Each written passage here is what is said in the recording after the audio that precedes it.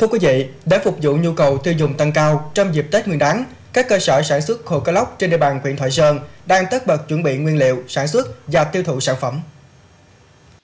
Khô cá lóc Thoại Sơn từ lâu đã trở thành món ăn được người tiêu dùng trên thị trường đánh giá cao, nhiệt tình đón nhận. Bí quyết cho sự thành công là sử dụng nguồn nguyên liệu cá tươi, ướp gia vị tự nhiên, bảo quản đúng quy cách, quy trình chế biến an toàn. Vào những ngày này, tại cơ sở khô Bảy Chớp, không khí sản xuất rất nhộn nhịp, nhân viên làm hết công suất để đảm bảo đơn hàng cho khách. Sản phẩm được cơ sở đóng gói, cải tiến mẫu mã nhằm tạo ra sản phẩm chất lượng, an toàn đối với người sử dụng.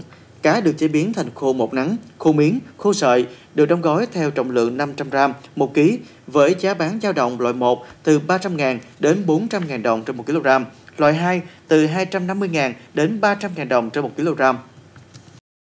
Giá bán ra thì tôi theo cái giá cá của thị trường. Nếu như cá mắc thì mình bán mắc lên chút, còn cá rẻ thì mình bán rẻ lời chứ không có nằm một giá. Thì hiện tại bây giờ là tôi vẫn làm một ngày 100 kg cá ra 20 kg khô. Mà như là mỗi ngày tôi mỗi làm. Với kinh nghiệm làm khô cá lóc nhiều năm, bà Dung cho biết quá trình làm khô phải thật kỹ vì nó quyết định rất lớn đến mùi vị của khô khi thành phẩm. Trước tiên, cá tươi mua về sẽ được đánh giảy, bỏ ruột, cắt kỳ, phi lê bỏ xương rồi mới mang đi rửa, cạo sạch nhớt. Tiếp đến là công đoạn ướp muối, làm sao để khô hợp khẩu vị người tiêu dùng.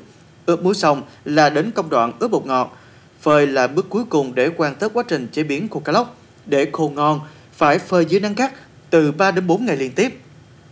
Khô cá lóc bảy chớp hiện là sản phẩm ô cấp 3 sao, được tham gia các hội chợ triển lãm, trưng bày sản phẩm nên có được thị trường tiêu thụ ổn định. Trong dịp Tết Nguyên đán Giáp Thìn 2024, theo dự báo nhu cầu tiêu thụ khô cá lóc sẽ tăng cao. Để đáp ứng nhu cầu này, các cơ sở sản xuất khô cá lóc trên địa bàn huyện Thoại Sơn nói riêng và trong tỉnh nói chung đang nỗ lực sản xuất, tiêu thụ sản phẩm, góp phần mang đến cho người tiêu dùng những sản phẩm chất lượng, đảm bảo an toàn vệ sinh thực phẩm trong những ngày Tết.